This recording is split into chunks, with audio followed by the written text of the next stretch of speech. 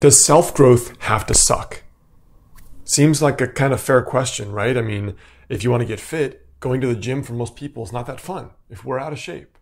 Or if I want to feel better, eating a better diet instead of having a Coke and an English muffin in the morning probably is a lot harder.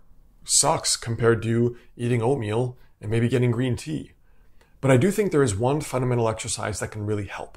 And the exercise is maybe painful because it confronts oneself. And like Carl Jung said, where there is true healing, there's often that first descent into hell because we have to confront the shadow aspects of ourselves.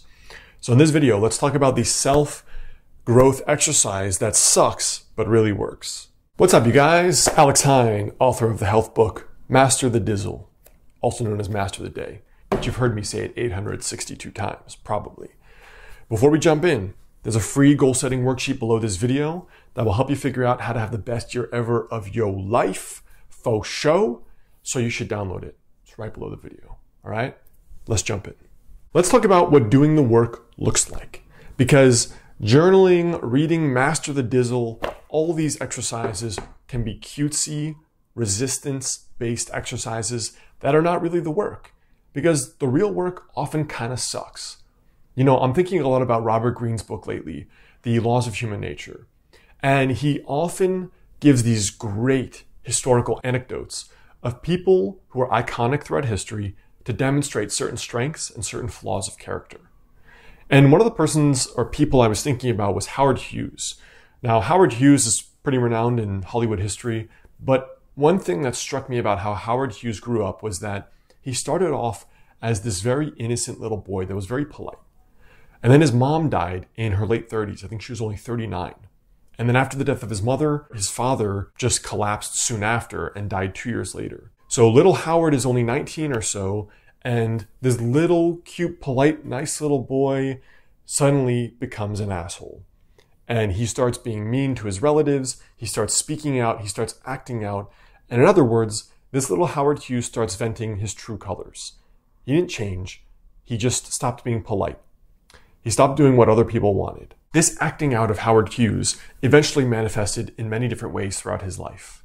First of all, it manifested in many other ways where he was super entitled and he thought that he could build this aerospace company even though he had no experience, or that he could direct his own movies even though he had no experience. And in this kind of megalomania that manifested in his life and the inability to listen to other people, ended up not only leading to some of his great success, but often his great failures. And secondarily, why he was often not very well liked, and people would quit jobs just so they could not have to speak to this damn dude. Now, Steve Jobs has some similar qualities here, where as a kid, there's the famous anecdote in his biography of the little girl that said, you know, how kids tease each other. She said, Your parents gave you up for adoption because they didn't love you. And his adopted parents said, No, Steve, we adopted you and we chose you because you're special.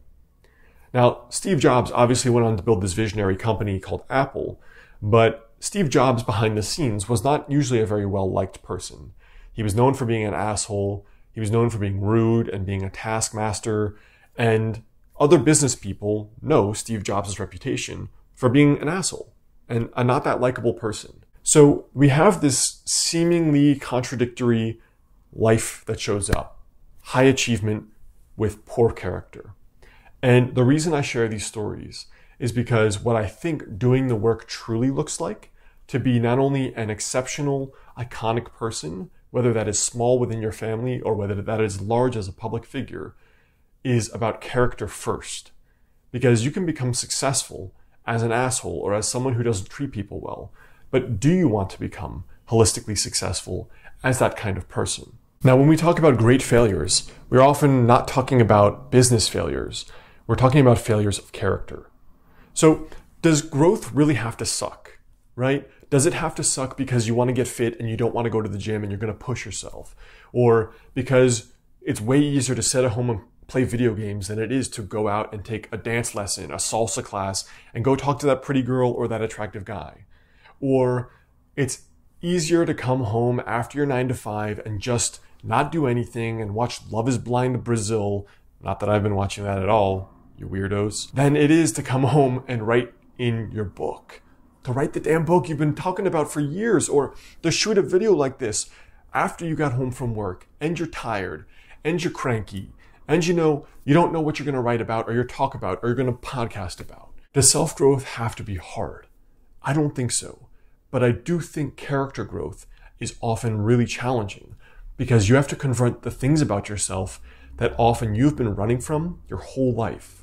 You know, I think the most powerful and the most difficult growth comes from character growth. When I say the most powerful, I mean it will transform your life in the most extreme and profound ways. A bunch of years ago, I realized that the three goals that I wanted the most to get a girlfriend, you know, we're talking 10 years ago, to get fit and to be the kind of guy that was a great leader, not because he was trying to be a leader, but because his life was so exceptional that people would want to follow it because they wanted to do the same. I realized the only trait behind that, those three things that I was lacking was really guts. So even though I anatomically had balls, I didn't metaphorically have balls, right? And I was trying to find my spiritual cojones and I could not get them. I couldn't figure out where to get them from because like you, it's scary to have to go talk to a pretty girl every time I see one. It's scary to have to go to the gym when you view yourself as the least fit or most out of shape person there.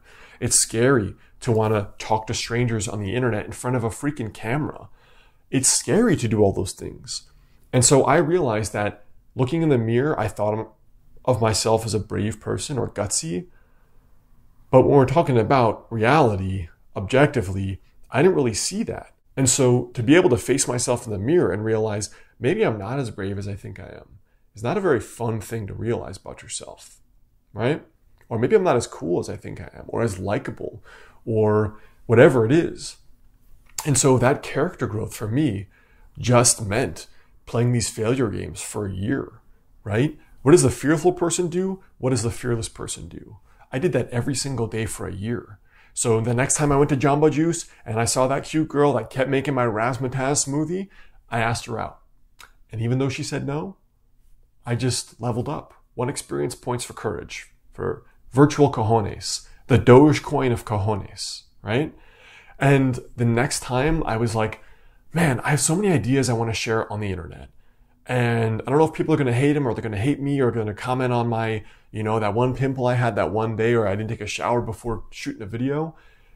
But I shot that video and wasn't that good. No one commented.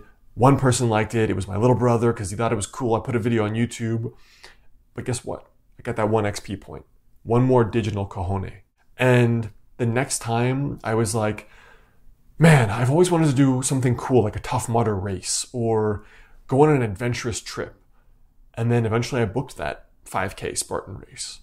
And even though I was slow and even though I ran a 10 minute mile on average and I got electrocuted and I came out with bruises and bumps and bleeding a little bit, you know what?